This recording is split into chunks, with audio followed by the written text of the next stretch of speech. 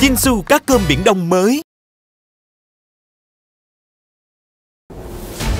Hoa Vương xem sớm nhất trên Vion 20 giờ thứ hai đến thứ tư hàng tuần.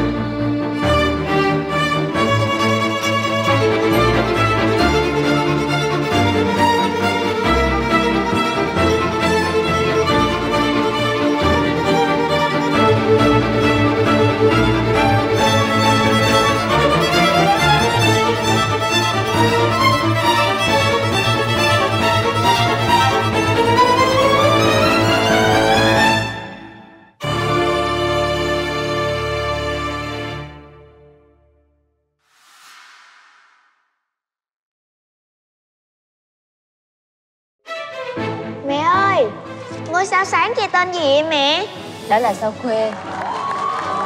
Tên của con cũng đặt theo giống như tên của vị sao đó. Nguyễn Minh Khuê. Mẹ ơi Con cũng muốn được tỏa sáng giống như vậy. Có được không mẹ? Con ơi Con! Con giùm mẹ! Con ơi! Đi đi Đi! Vào giây phút hạnh phúc nhất của cuộc đời mình Tôi quyết định rút lui khỏi công việc MC cái thứ kịch hay mà mình bảo nó là đây đấy à? con bé nó điên rồi. Một ngôi sao không thể tự nhiên vụt tắt mà không có lý do. Mình cứ chờ xem kịch hay còn dài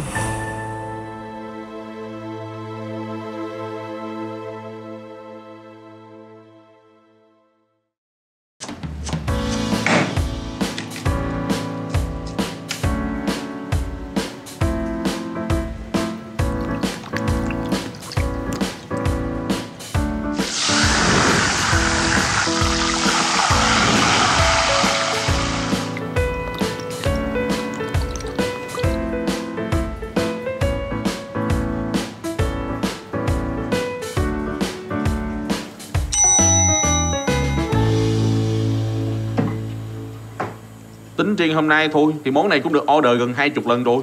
Chúc mừng chị. Chính xác là 24 lần. Nếu chị thông minh như vậy á, Thì chị đoán thử coi Ai là người được chọn làm bếp trưởng Tôi hay là chị? 50-50 Mà xã giao thì tôi nên trả lời như vậy. Chứ nói thật lòng Tôi nghĩ Cậu chỉ có 20% cơ hội thôi. Cậu kém hơn tôi nhiều Cậu biết rõ mà.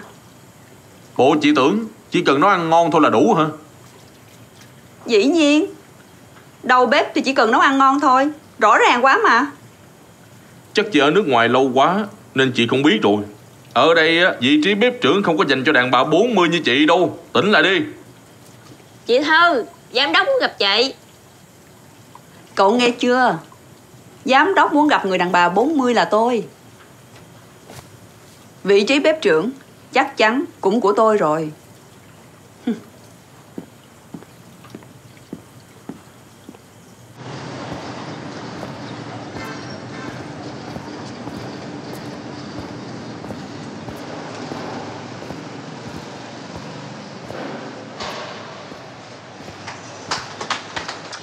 ủa? Sao nay về sớm vậy?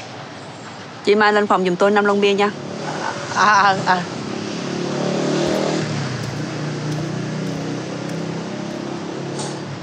Trời đất ơi mới về này mà nhậu ơi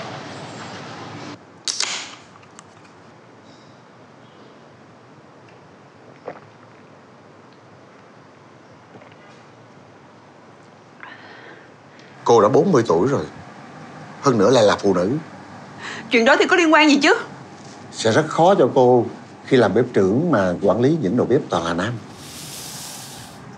Mong cô giúp thêm cho cậu ấy. Tôi chính thức nghỉ việc từ hôm nay. Với thái độ cứng nhắc của cô Khó mà hòa hợp được với mọi người. Cô đi đâu cũng vậy thôi à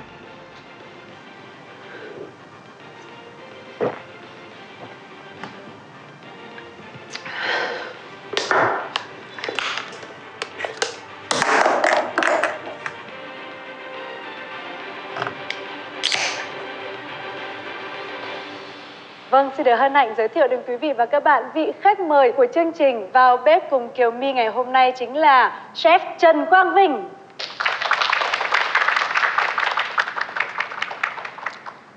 Hôm nay Quang Vinh rất vui khi được có mặt ở trong chương trình của chúng ta và xin chào MC Kiều My xinh đẹp. Xin chào anh Quang Vinh. Anh Quang Vinh ơi, có một điều mà Kiều My tin chắc rằng tất cả quý vị khán giả ở đây đều đang rất thắc mắc đó là lý do vì sao anh trở về Việt Nam trong khi công việc kinh doanh nhà hàng ở Pháp đang thuận lợi như vậy ạ? À, cảm ơn Kiều My. Um, có rất nhiều lý do khiến cho Quang Vinh đưa ra quyết định quay trở lại Việt Nam sau hơn 20 năm. Lý do đầu tiên đó là vì Món súp này ngoài nguyên liệu chính làm từ lá bò cạp còn được kết hợp với rất nhiều loại thảo mộc đặc biệt. Ví dụ như nghệ tây, tỏi, một vỏ cam zest, lá nguyệt quế và một chút lá thì là sẽ rất tốt cho sức khỏe.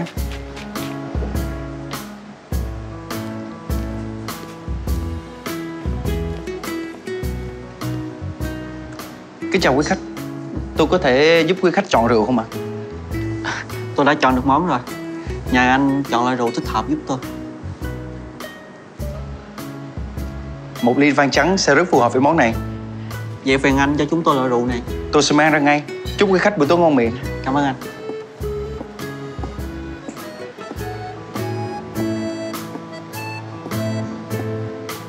Hai năm trước, Vinh có quay trở về Hàn Quốc để tìm Thư. Nhưng mà được biết là Thư không còn làm ở nhà hàng đó nữa. Ừ, Vinh có tìm vài người bạn để hỏi tin tức về Thư. Nhưng mà họ cũng không biết. Ừ, Chắc là sau sự cố đó, Thư quay trở về Việt Nam luôn hả? Tin đồn lan đi rất nhanh Thư cũng chật vật mãi suốt 2 năm Cuối cùng không trụ được Đành phải về thôi Vậy à, Thư định làm gì? ờ, Vinh có biết ở Sài Gòn Tập đoàn F&B nào có uy tín và tiềm năng không? À, đợi Vinh một chút.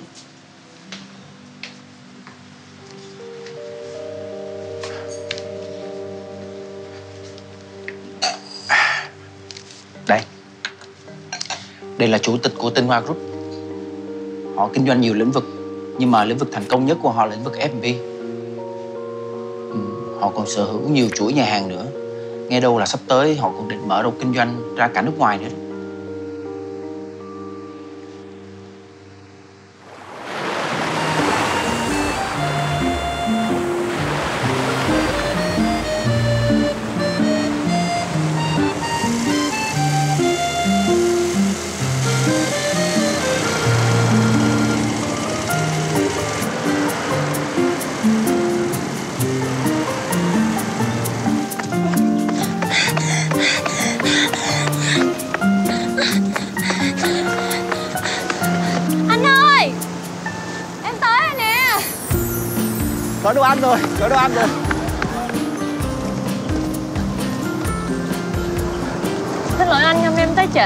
Đông khách quá Em biết mà.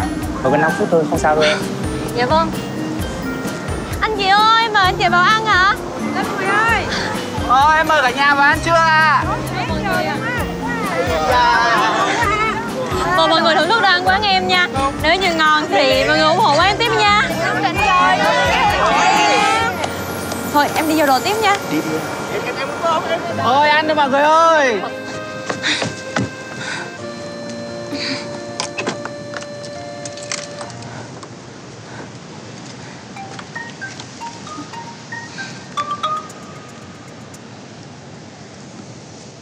Dạ con nghe nè má. Ăn cơm chưa con?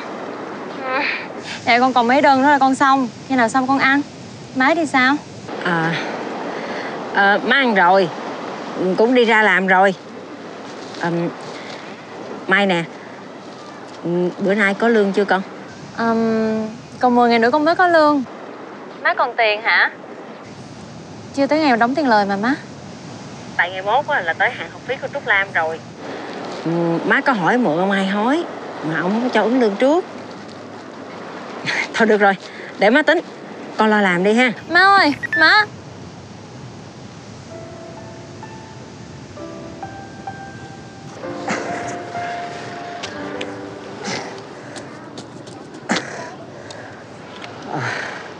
Mệt quá.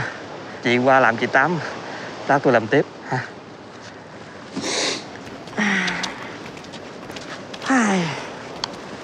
khát nước quá.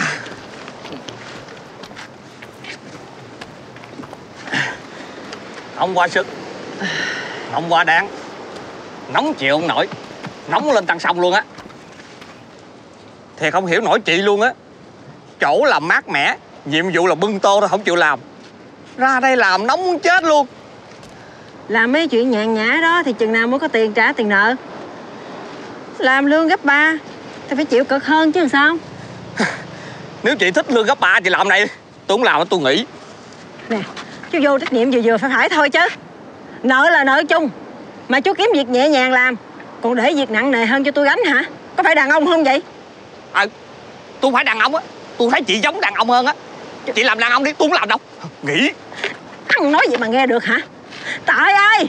Tại ai mà xúi dục rủ rê chồng tôi phải bỏ Sài Gòn Rồi xuống tới cái xứ này Để lập nghiệp làm nước mắm nhà thùng Hả Tại ai mà nhà tôi tán gia bại sản phải lâm vô cảnh nợ nần vậy đấy Nói xong biết nghĩ gì? Thì làm ăn cũng có hên xui mai rủi. Đâu phải lỗi mình tôi đâu chị nói vậy. Nhưng mà tại nợ nần của cha mẹ Cho nên con tôi mới khổ sở vậy nè.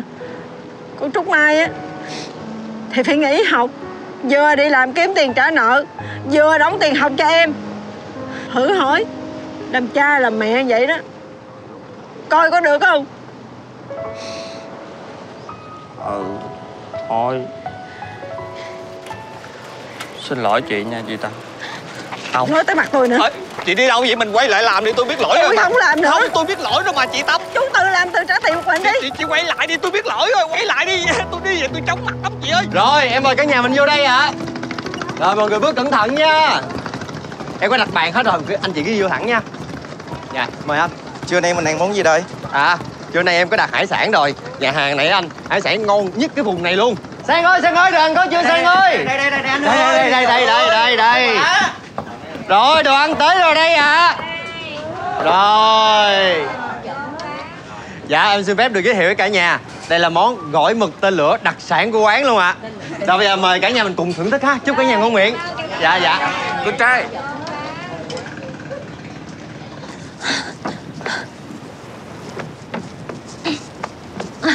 Dạ em chào Chào em. chị. Cảm ơn anh chị ủng hộ quán em nha. Không có gì đâu em. Chú ơi! Con gái. Con xong rồi nè. Cảm ơn con. Còn sót đơn nào không chú? Có mấy đơn Thằng họ đem theo hết rồi. Thôi con xuống ăn cơm đi. Dạ. Đủ rồi ha.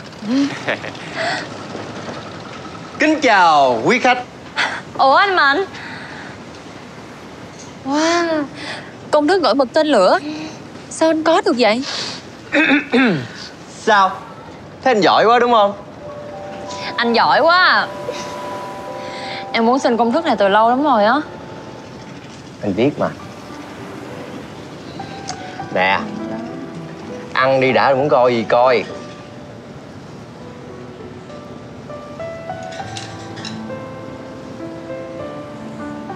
Ăn thì ăn Ừ Cả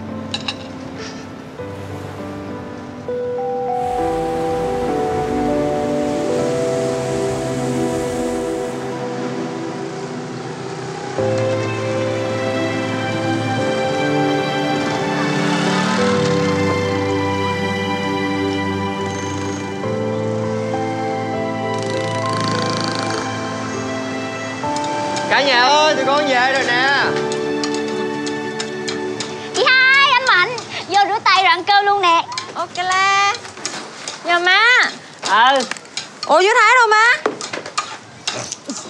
Cái gì á đi vào rửa tay kìa.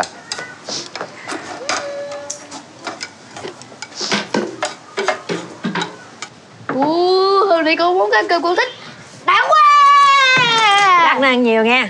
Mời cả nhà ăn cơm. Cảm ơn anh. Ưu tiên còn ăn trước. Chú Dễ, con cảm ơn. Nè. Con cảm ơn chị. Má chị nè. Cảm ơn em. Tao nói Nè con.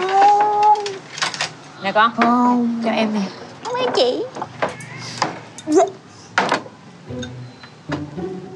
Làm gì á?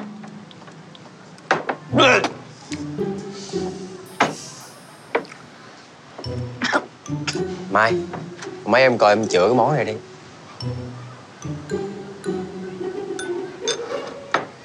Má. Má bỏ ngò vô cá hả má Đúng rồi. Cái ngồi này nó sắp hư rồi. Bỏ uổng. Cho nên là tận dụng bỏ vô đây nè. Con thấy má có giỏi không?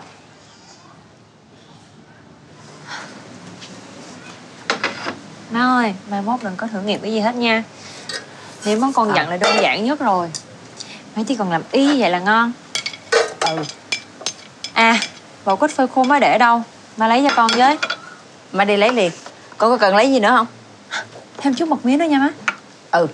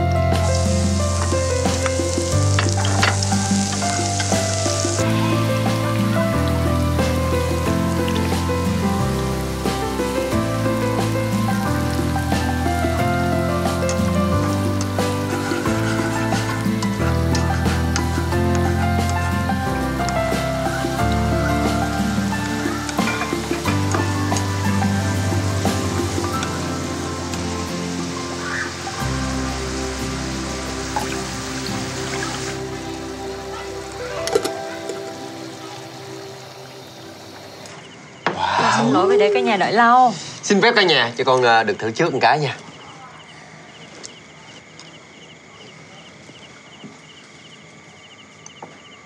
Xuất sắc luôn.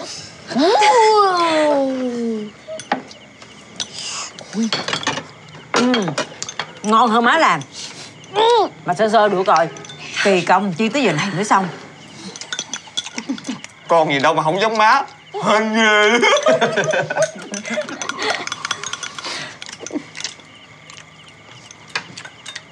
Mà có chắc hai người là má con không vậy? Hả? Ăn đi cho nín nói Nói tào lao hoài Ngon Đổ quá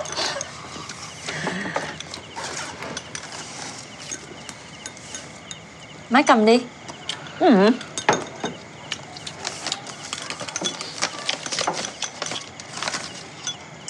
Tiền học lần này của Trúc Lam á má Con mới xin chú tính tiền lương. Lương của chị còn dùng để trả tiền lời nữa mà. Thôi được rồi Lúc đó chị lo được không có sao hết. Em á Phải chăm chỉ học hành đi nghe chưa? Ôi Con đói quá à. Thôi Mình ăn cá đi cho nó nóng. Ăn đi, ăn đi, ăn đi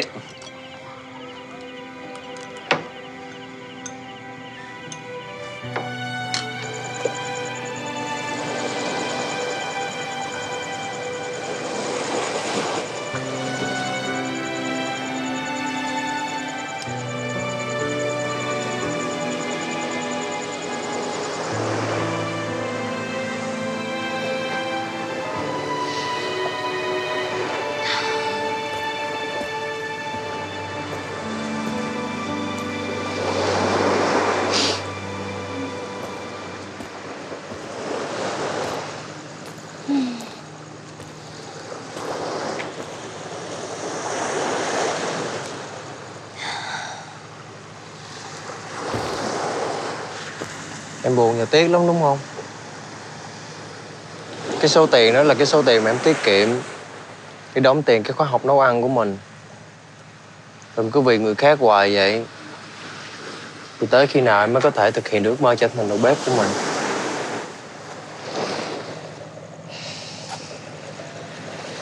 Anh biết không? Trên đời này có một câu nói mà em rất thích.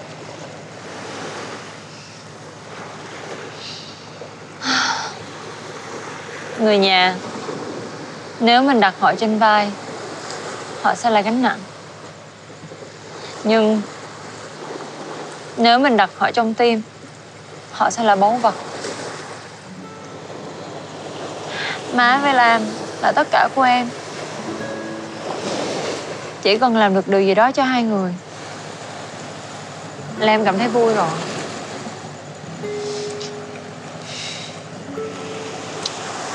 Nếu vậy còn em thì sao?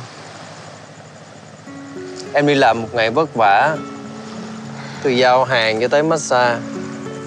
Một ngày làm bao nhiêu ca chỉ để kiếm tiền? Vừa phải lo trả nợ, Vừa phải lo chi tiêu cho gia đình. Thấy em có một khoản đó để em để dành thôi à. Rồi cứ khi nào nhà cần, Rồi em cứ lại lấy ra như vậy á. Anh đừng lo. Em chắc chắn sẽ thực hiện được ước mơ của mình. Nếu như mình không thể đến trường để học. Thì em có thể tự học ở nhà mà. Hơn nữa Còn có anh luôn giúp đỡ em mà. Ai nói với em là lúc nào anh cũng giúp đỡ em. Trên trán của anh hiện lên bốn chữ. Anh trai ba gai kìa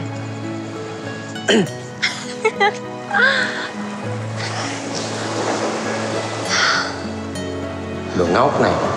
Anh đâu có muốn làm anh trai của em chứ.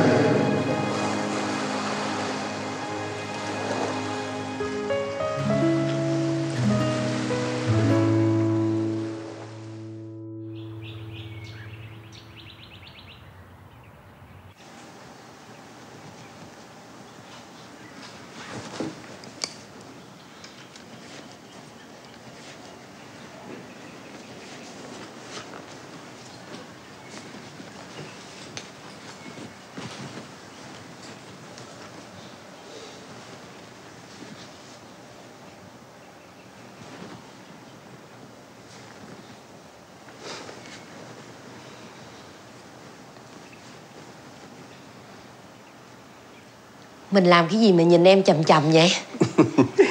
Tôi rất thích ngắm mình Những lúc mình đang chăm chú làm việc gì đó. Có gì đâu mà ngắm. Những lúc như thế á Trán em á thì nhăn Mặt mũi thì câu có rất là khó coi. Khó coi cái gì chứ? Mình có nhăn một chút Vẫn đẹp mà. Tôi còn nhớ Hồi xưa khi tôi mới tới làm ở tiệm của ba mình Mình đang là học sinh. Ờ, vậy mà đã kiêu căng lắm. Mình nhìn tôi bằng nửa con mắt ấy. Vậy mà ai ngờ có ngày mình nằm ngủ cạnh tôi nhỉ? Cuộc đời tôi như vậy Kể cũng đã thành công rồi. Bởi vì ta mới nói Cuộc đời á Sẽ không ai đoán trước được chuyện gì sẽ xảy ra đâu.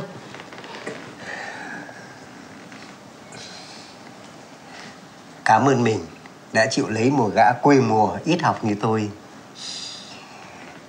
Nói thật là cái bữa mình đứng trước mặt tôi nói cô Em sẽ là vợ anh. Tôi không tin nổi vào tai tôi nữa. Lúc đó em cũng suy nghĩ nhiều lắm. Nhưng kể từ lúc mà em đến nhà mình, Nhìn thấy cảnh Hải Đăng nó ăn mì gói qua loa trước giờ đi học. Rồi một lúc sau mình đi làm về sắp theo hộp cơm.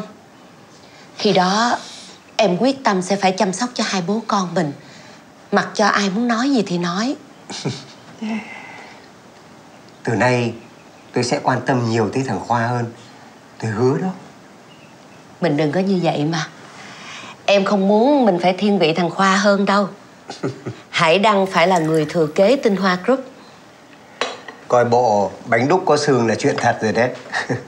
Tôi phải tích phước cỡ nào Thì mới lấy được người vợ tốt như mình chứ. Thôi mình uống trà đi Rồi đi thay đồ Một lát nữa Hai vợ chồng Yên Đan sẽ mang kết quả kiểm tra sức khỏe của mình tới đó. Ờ, Tôi cũng phải tự chăm sóc sức khỏe của mình thật tốt.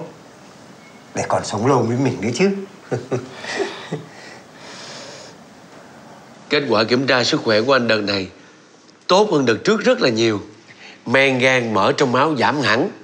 Cứ tiếp tục duy trì như vậy Anh sống trọn trăm tuổi đó nha. Cậu nói thế nào ấy?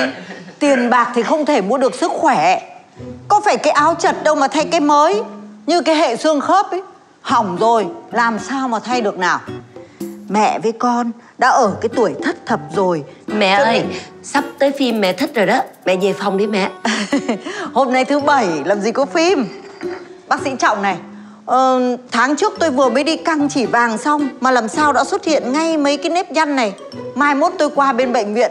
Bác sĩ ờ, làm giúp tôi nhá Free, miễn phí đấy. Hiếu. Dạ. Hiếu.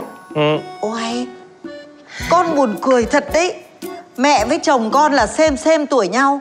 Thế mà lúc nào con coi mẹ như là một bà già vô dụng ấy thôi. Hiếu ơi đưa mẹ lên gác nào con. Dạ. Ôi rồi ôi Sao mấy hôm nay cái lưng nó đau Chứ mà- thế chứ lại? Mẹ nghỉ ngơi với mẹ. Ai giời ơi. Gia đình tôi vậy đó Lại để cô cậu chê cười rồi. À dạ dạ dạ dạ dạ không có gì. Vợ chồng em lại rất thích cái không khí gia đình của anh. Vừa náo nhiệt lại vừa tình cảm nữa chứ.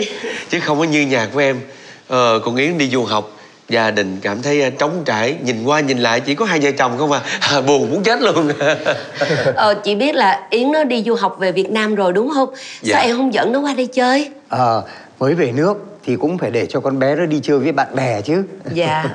Dạ. Được có bạn bè em cũng mừng á. Con bé nhà em á, nó ngoan hiền Nó chỉ có biết học học học mà học thôi. Không có chơi bời cái gì hết á. Dạ. Rồi đã vậy cái đám bạn của nó cũng chỉ có học mà thôi à Dạ, Dạ. đợt này á là em đang cho nó ra Phú Yên Sẵn là kết hợp thăm gia đình Rồi à, nghỉ ngơi cho nó thoải mái một tí. Xong rồi à, về đây để mà qua đây chào hai anh chị.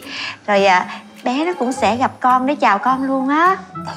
Ờ, mà sao không để Khoa ra ngoài đó với con bé? Ai lại để con gái đi một mình vậy? Ừ. Em thấy anh tính vậy cũng đúng đó. Thôi để em thu xếp cho con.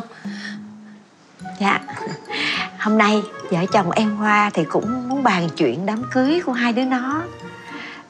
Đám cưới? Sao gấp quá vậy cô? Tụi con cũng mấy năm không gặp nhau rồi mà. Khoa Quyên đang nói chưa xong mà Con đừng có như vậy chứ. Tuy là ít gặp nhau Nhưng mà hồi nhỏ hai đứa con thân lắm. Bây giờ mình gặp lại Mình đi chơi, ăn uống Chỉ một thời gian ngắn thôi. Chừng khoảng 6 tháng là cưới được mà. Tôi nghe nói là con bé về Việt Nam là do sức khỏe kém. Vậy là bỏ học luôn à? Chuyện này em với Yên Đan cũng có bàn rồi mình. Ờm, Cứ làm đám cưới Xong rồi Yến nó vẫn tiếp tục chuyện học. Chỉ là chậm cái việc sinh con thôi. Nhưng mà học xong rồi á Là phải có con liền. Chứ em là em luôn có cháu dữ lắm đó. Dạ. À, Sau khi mà mình đám cưới xong rồi á Cái thảnh thơi là mình xúc tiến cái bệnh viện Phú Yên đi anh. Dạ Cái bệnh viện thẩm mỹ mà bây giờ kết hợp với nghỉ dưỡng đang là xu hướng đó anh Với trình độ chuyên môn của tụi em Cộng thêm cái tài kinh doanh giỏi giang của anh nữa. Mình hợp lực lại là đón đầu xu hướng. Mà không chỉ lấy khách ở Việt Nam đâu nha Mà mình còn có khách ở nước ngoài nữa đó. Ờ, Chuyện đó từ từ rồi tính. Cứ để cho tụi nhỏ tìm hiểu nhau cái đã. Dạ.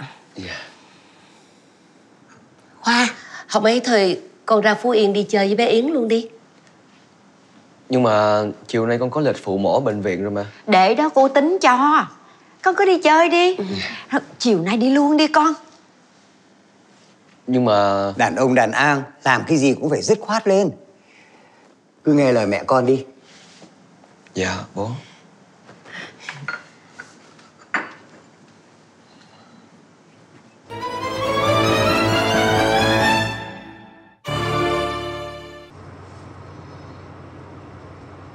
Nhà chị đấu một phức tạp quá trời. Mà mình làm xui giá với họ thiệt luôn hả? Nhà em còn phức tạp hơn nhiều mà.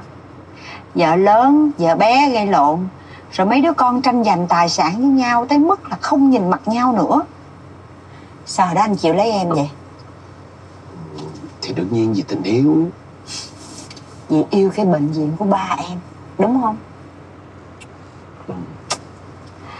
Ít ra thì hồi đó anh cũng còn có tham vọng.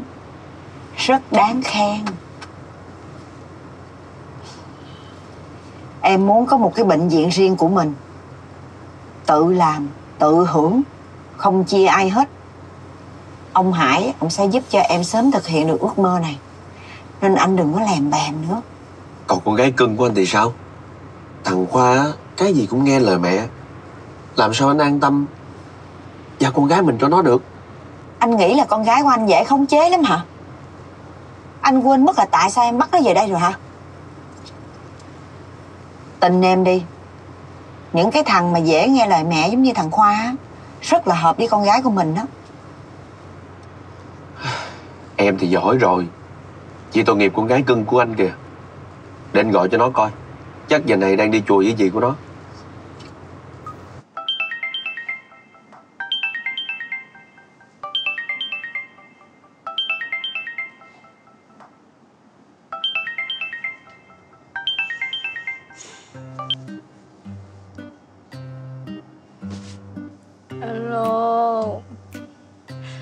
Ba ơi bây giờ con mệt lắm. Xíu nữa con gọi lại cho ba nha. Con gái cưng của ba. 2 giờ chiều nay Chồng sắp cưới của con ghé thăm con đó. Hẹn hò vui vẻ nha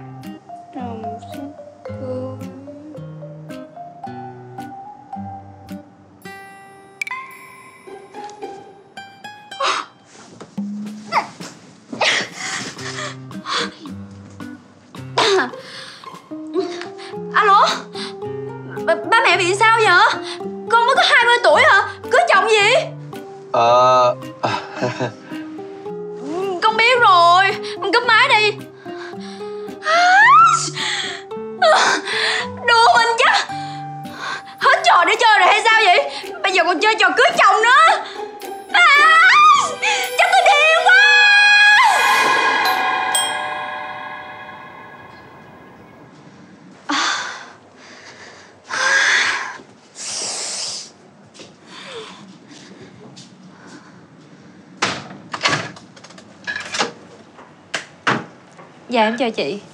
Cô là ai vậy? Dạ em là Trúc Mai. Ai còn hỏi tên cô đâu? Tới đây làm gì? Dạ em là nhân viên massage của resort. Hôm nay em có hẹn massage cho chị lúc 12 giờ trưa ạ.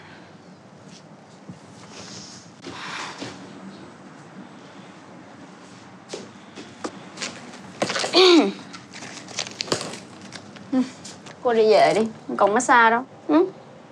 ừ, Dạ thôi để massage cho chị nha Chị sẽ cảm thấy thoải mái hơn á. Đã nói là không có cần mà Cô thì giúp được cái gì chứ?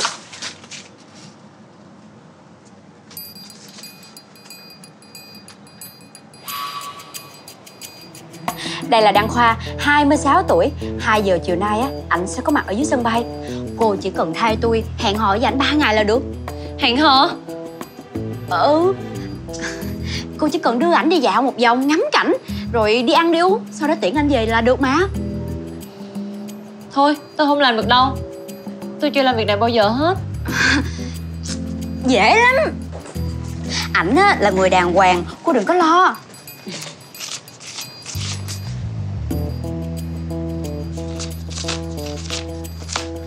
Mỗi ngày 2 triệu. Bây giờ tôi đưa trước cho cô 2 ngày Nghĩa là 4 triệu.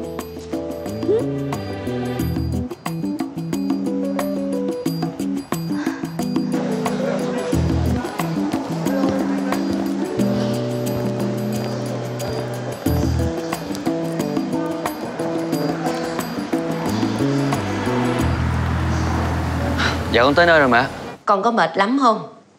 Ở ngoài đó trời có nắng lắm không con? Dạ ở đây nắng nóng lắm. Nhưng mà con không thấy cổ đâu hết. Con gọi cổ không nghe máy nữa. Có khi nào cổ không đến đón con không? Ủa?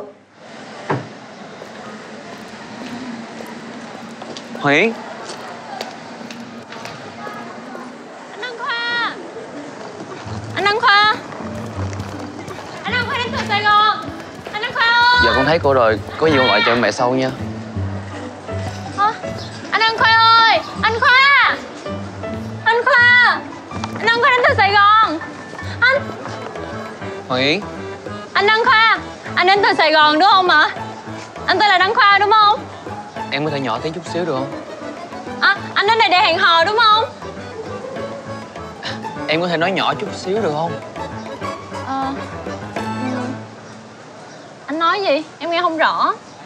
Em phải tháo mũ bảo hiểm ra thì mới nghe được chứ. À. Xin lỗi Em quên.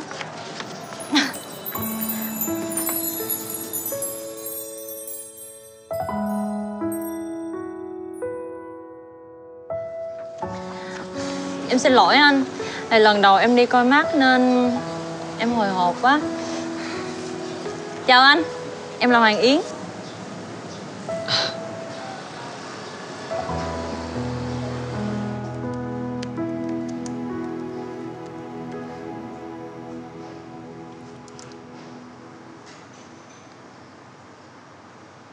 Ban đầu họ làm trong lĩnh vực cầm đồ, cho vay.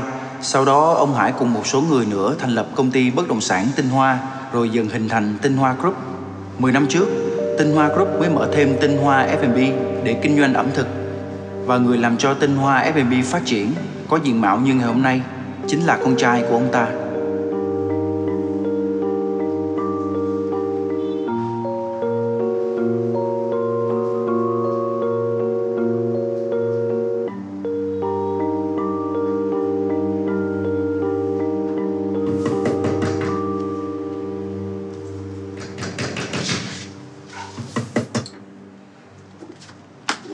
Sao rồi? Cái vụ hợp đồng của tôi thì sao? Để tôi biết tôi còn tính nữa chứ Nhiều người ta hỏi cái nhà này lắm rồi đó Tôi cũng đang định kiếm chị nè Gì đây?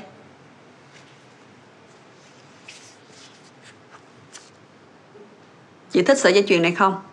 Tôi muốn cầm nó Coi như là tiền cọc nhà Tháng sau tôi sẽ chuộc lại Sợi dây này nhiêu tiền mà cầm cao dữ vậy? Chỉ riêng cái viên kim cương trên mặt dây chuyền này thôi Là đã đáng giá hơn trăm triệu rồi đó Gì? Này kim cương hả? Hèn gì nó lấp lánh quá ta Ờ... Ờ... ờ ba cái đồ quỷ này ở ngoài đồ giả đầy Ai biết cái này đồ thiệt đồ giả đâu Ê, ê, ê, ê. Ừ thì coi như tin cô đi Nó cũng sáng đó Mà tôi cần thêm một khoản nữa để đầu tư Chị đưa thêm được nhiêu?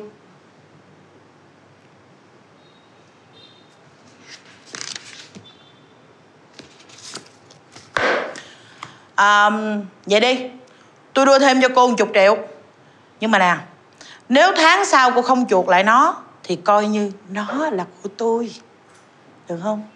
Ừ? Được Chờ xíu nha, Xuống dưới lấy tiền.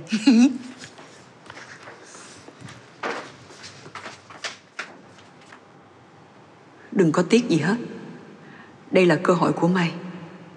Sẽ có ngày Mày giống như ngôi sao kia, Sẽ tỏa sáng trên bầu trời.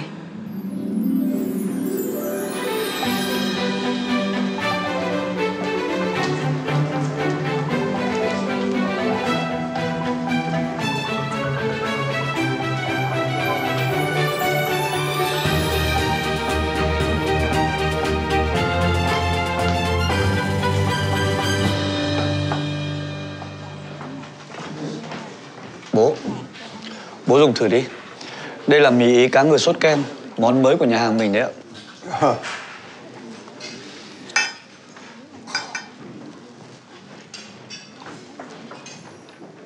Ừ, ừ.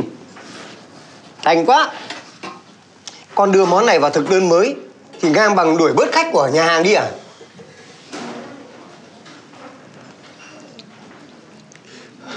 Bố nhạy cảm quá thôi.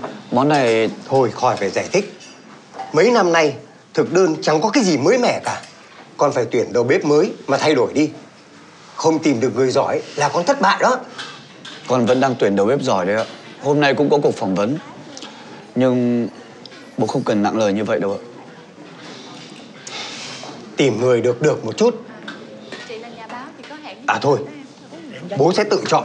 Chiều nay bố sẽ tham gia cuộc phỏng vấn. Kìa bố. Cảm ơn em nha Dạ, em chào hai anh. Ờ, Chào cô My Châu. Dạ, chúc mừng anh mở chi nhánh mới nha. Ấn tượng lắm luôn á.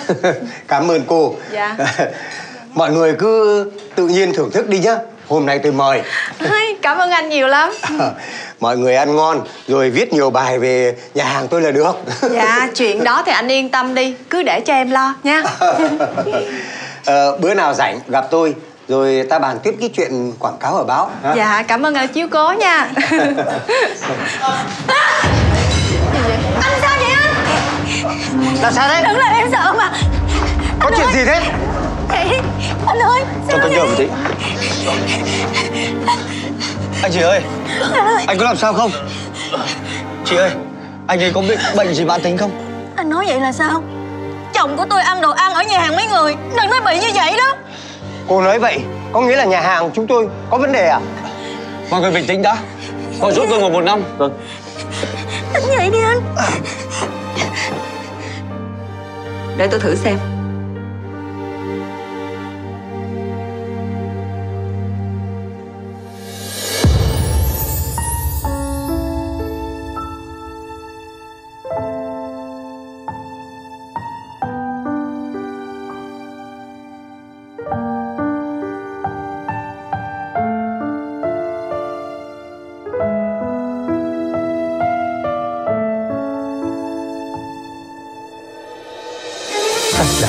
sao nhà hàng mình không có những người giỏi như vậy chứ? Con đang tuyển người mà bố Phải có những người giỏi ở bên cạnh con thì con mới thành công được. Lo mà kiếm cho đàng hoàng đi. Xin chào mọi người Tôi là Nguyễn Anh Thư, ứng viên số 27 Cô là Tôi đã tìm hiểu các vấn đề mà tinh hoa F&B đang mắc phải Dị ứng gluten à? Dạ, lần đầu tiên chị mới nghe đó. Trường hợp này rất hiếm gặp 50% còn lại theo thỏa thuận. Hai người nhớ phải giữ bí mật đó. Chị yên tâm đi Diễn xong á, là tụi em xả vai liền à. Rất hoàn hảo. Bây giờ chỉ mới bắt đầu thôi